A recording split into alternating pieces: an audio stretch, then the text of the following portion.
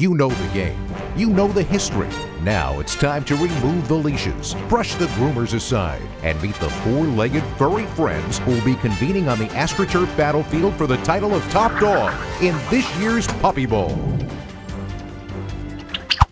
Cara, a Shih Tzu from Orlando, Florida, has been one of the most talked about pups of the season.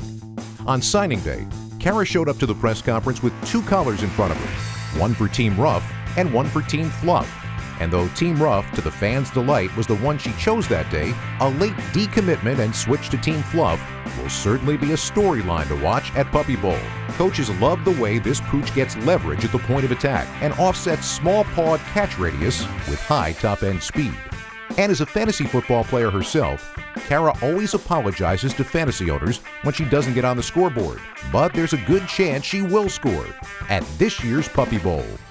The Puppy Bowl players are not just competing for this year's trophy, they're competing against Puppy Bowls past and the Hall of Famers who walked this AstroTurf before them. Who will win? Who will become legend? Who will fall asleep on the field? Tune in this year for the Puppy Bowl on Animal Planet.